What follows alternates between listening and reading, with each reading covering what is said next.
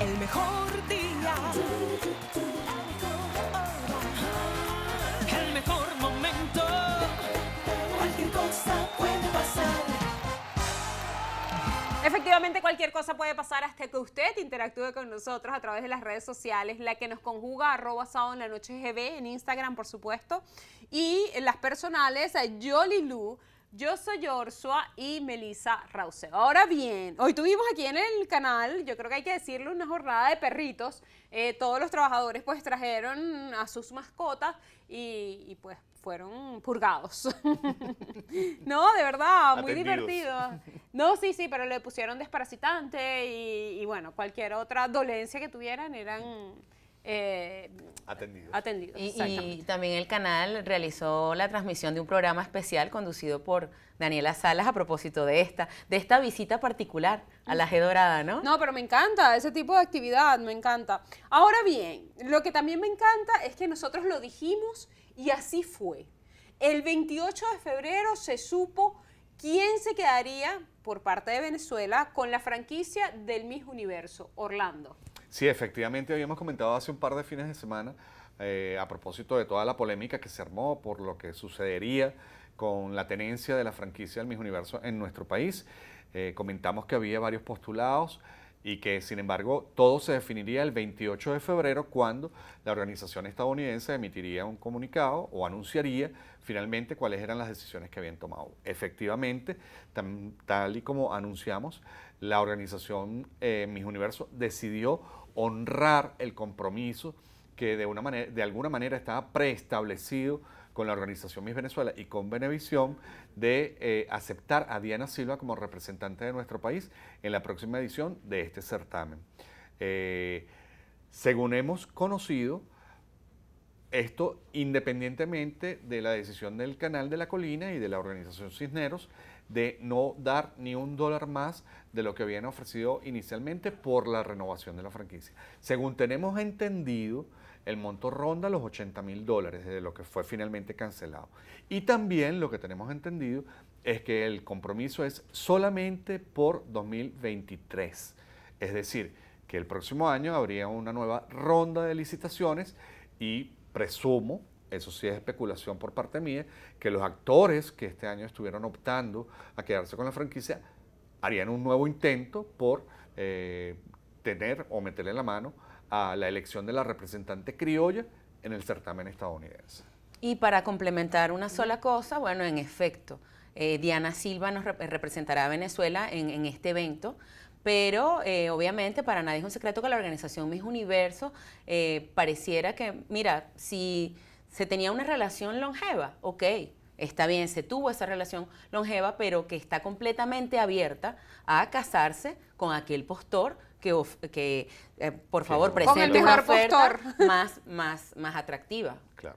Bueno, señores, este, lo dijimos y así sucedió, para que después no digan que estamos lanzando flechas. Ah, y no que- podía ser tan preciso. Claro, y que en definitiva va a ser el 16 de marzo cuando se realice la firma de estos contratos. O sea, por los momentos lo que conocemos es un, un comunicado, un correo que se envió público, de hecho ya lo hemos visto a través de las redes sociales, pero la firma va a ser el próximo 16 de marzo. Bueno, eh, yo tengo una pregunta para Yoli. Si ella antes era fan de Sixto Rain, ¿cómo será ahora que le mandó un mensaje de felicitación el día de su cumpleaños? Pero lo que pasa es que, Meli, esto se está convirtiendo en una tradición porque no es la primera vez que Sixto lo hace, él sabe y su abuelo. Ah, o sea, porque es una tradición, Sí, o sea, porque es una tradición, no le gustó. Es no, no, me- no es Qué que no me gustó, me encantó, lo recibo con todo el cariño del mundo, a él lo quiero mucho, su abuelo Sixto Dorta también, y bueno, súper contenta de, de este, la noticia de este lanzamiento en compañía de Ani, su primera colaboración juntos. Eh, sí, me, me gustó mucho la, la entrevista, bastante precisa que le hizo Dariana, justamente sobre este junte entre Sixto Rain y Ani. Ani es una chica, eh, debe tener 10 años, o sea, porque cuando la entrevistamos en el 2021 tenía 8, debe estar 10, 11, más o menos, Rondando. calculando. Pero eh, eh, tenía un gran potencial porque no solamente una bonita voz, sino también eh, una actitud para el baile y para el humor impresionante. Entonces, usted juzgue. Vamos a ver este trabajo.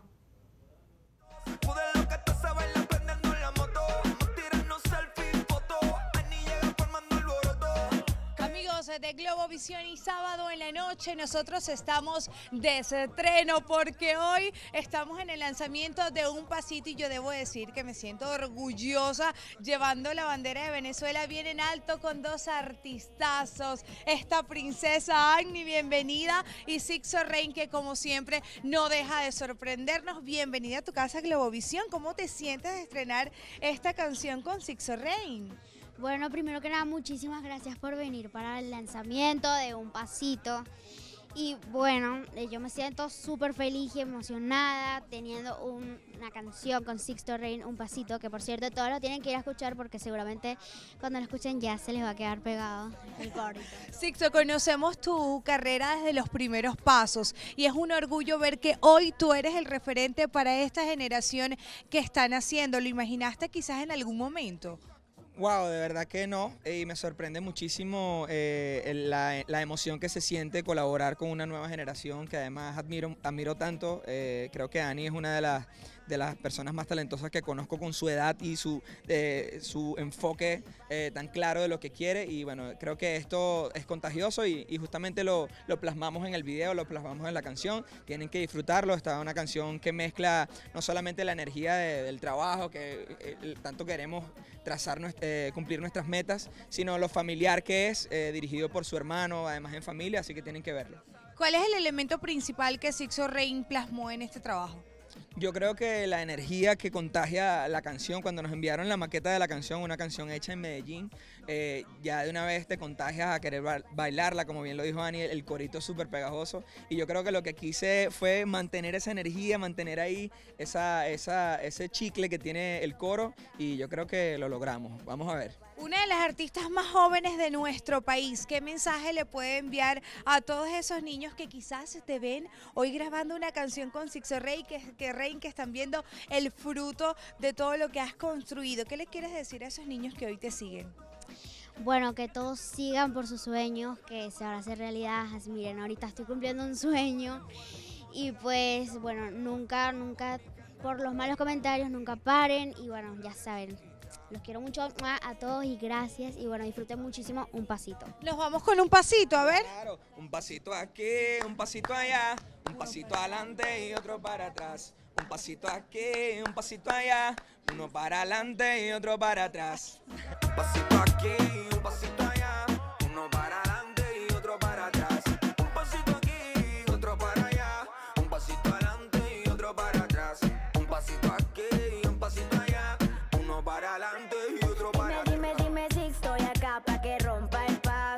paso. Pa'lante, no atraso. Estoy dándole sin una mira y lo caso. La sombra que tengo no sigue. Bueno, ellos los tienen Sixto y Ani. Eh, con este tema un pasito para adelante y uno para atrás. ya, ya se me pegó Ani. Si lo escuchan una vez, se les pega. Lo difícil es hacer, ¿no? El pasito para adelante y el pasito para atrás. Eh, vamos a una pausa. Vamos a una pausa y volvemos con más antes que los productores nos maten, ¿verdad? Dicen que estamos largos. Siempre estamos largos. Siempre, siempre. El mejor día